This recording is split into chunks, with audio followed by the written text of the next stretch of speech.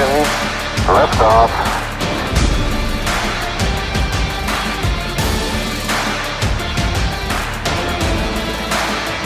Liftoff.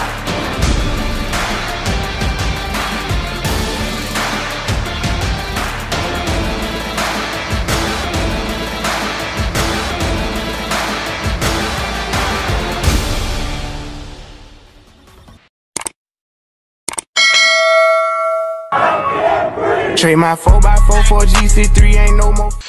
Yo guys, what's up? This is Albert Philip Pasyente, owner of the Anon Hoopers and this is the Anon Hooper Stories. So sa episode na to, makikilala natin si Chris Arbil Lagata na from Alitagtag, Batangas na naglalaro dati sa San Beda, Alabang. So this is it.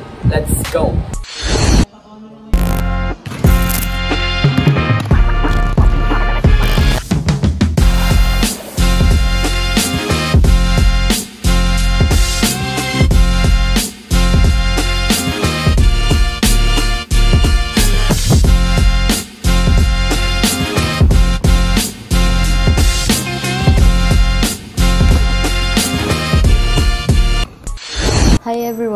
Name is Chris Arbilagata and magkukwento ako about sa buhay bola. I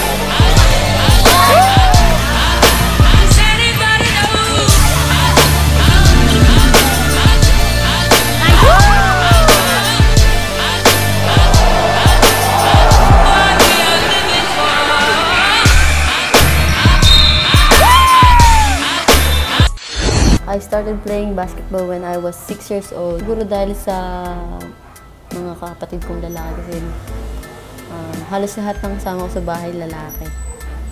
So yun, na-impluensya nila ako. Tapos sinasali nila kasi ako sa mga larong sa labas. Grade 7, hindi ako nag-try out kasi wala akong tiwala sa sarili ko. Kasi ang lalaki kasi nung nakita ko agad na nag-try out.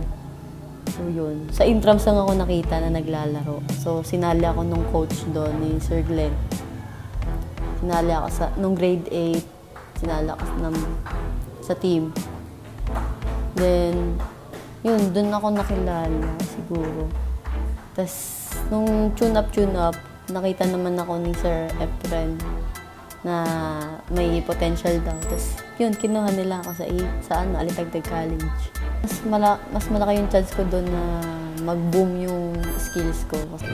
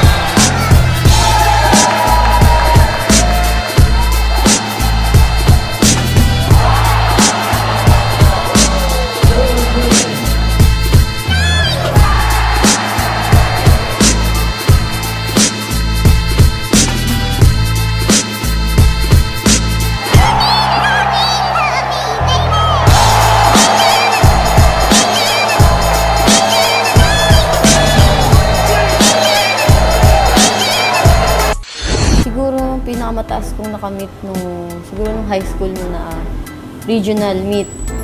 Yun, yung pinakamataas kong na, tas champion pa kami doon. Batangas, Team Batangas.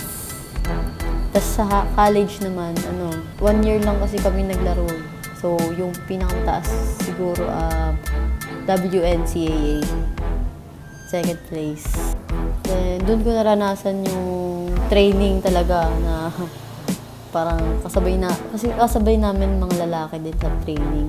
Kung anong training ng lalaki, training din namin. Kaya, mas na, tumigas yung katawan ko. And nakakapagsabayan sa mga malalaki. Kahit malit ako. so, ang favorite kong NBA player ay si Stephen Curry. Tapos sa PBA naman ay si Terence Romy po.